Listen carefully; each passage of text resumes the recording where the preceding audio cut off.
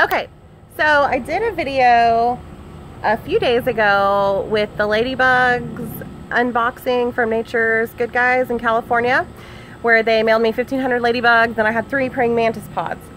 So the directions with the praying mantis pods was that it would take two to six weeks for them to hatch. Um, and you need like consistent warm weather for several days in a row before they would hatch. Well, apparently here in Houston, Texas, it has been consistent enough and it hasn't even been a week yet. so last night I, um, you remember they came in like a brown paper bag. If you don't remember, this was like two videos ago. Um, they came in a brown paper bag and there were just three pods in there. Honestly, I put it in a cabinet and I was like, cool, I've got some time to figure out how I'm going to make them little homes and separate them. So last night before I went to bed, I looked in there just out of curiosity, I was digging in the cabinet for something and I was like, oh yeah, these praying mantis pods. So I looked and I saw two little praying mantis and I was like, oh, surely they just threw those in there for teasers and they're not real. Like they weren't moving, which I know praying mantis don't move, but they really weren't moving. So I was just like, whatever, no big deal. Woke up this morning and I was like, oh, how am I gonna do these? Because I'm not about to be caught unprepared with each little um, praying mantis egg sac can have 50 to 200 babies in it. And I was like, I'm not about to be caught unprepared with, you know, 200 baby praying mantis in a brown paper bag crawling out when I still have two other egg sacs I have to dig out of there. Which, by the way, fun fact, the egg sacs are technically called something I don't know how to pronounce, but I know how to spell it. That's what happens when you learn things on the internet. But uh, it is an Ootheca, maybe? I don't know. It's O-O-T-H-E-C-A. But I do a lot of internet reading, so you can't make fun of someone who teaches themselves how to pronounce the word. So what I ended up doing for the um, containers was I just took mason jars. Um, usually the egg sacs are put onto a twig or so. So you don't want it laying on the bottom of the mason jar. And then the babies are going to be really small. So you want something that they can't escape from. So what I did was I just cut the footed part off of some old pantyhose, which you can tell like there's the toe seam. So I just snipped that right off, put it over a mason jar and then screwed the lid down. And then I put some twigs in there and just kind of sandwiched it between a couple of the twigs. This way they have something to hang from whenever they emerge from the egg sac.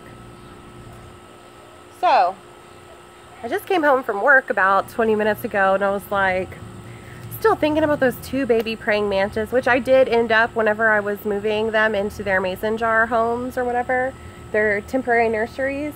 I did end up um, discovering that those praying mantis were real and alive. So I put them out in my garden because that's what I got them for. So I was really anxious to check on them again and see like what egg sac was ready to hatch because I just knew something was about to happen, right? Come home from work and this is what I find. A bunch of little bitty praying mantis. Which I don't know if you can see all of these guys in here. A lot of them are actually up on the top right now. When I came home from work like 20 minutes ago, they were all hanging out down here. And I'm really sad I didn't get to like watch them hatch because I've heard that's cool. If you can see, there's like some white stringy stuff hanging from that egg. Um, from what I understand, they just kind of all hang there for about an hour and then disperse. And I think it would be cool to just see this like cluster of baby praying mantis, right? So I bought them specifically for the garden. You can have them for pets, but I'm not trying to have any more pets at the moment. So I'm just gonna move over here closer to the garden and then release them.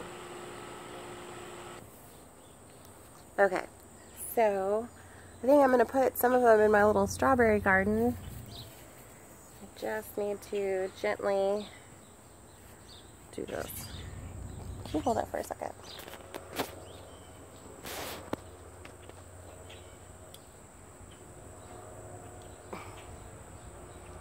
They're on the top. Oh my god.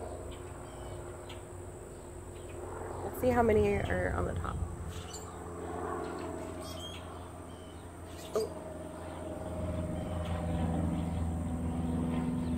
Look at them. Look at them. They're so cute. Man, they're really going.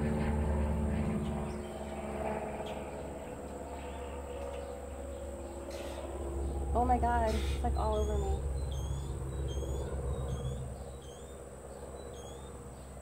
Oh wow, they hop.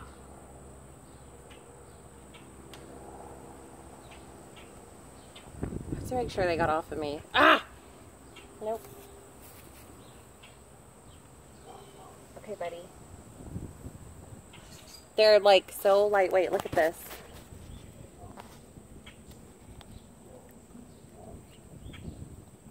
Fun. So I'm probably just going to leave the lid off of the jar in the strawberry bed and the tomato bed. And then I've got two other eggs to hatch still, so those will go throughout the garden and the yard. Um, but totally cool, fun.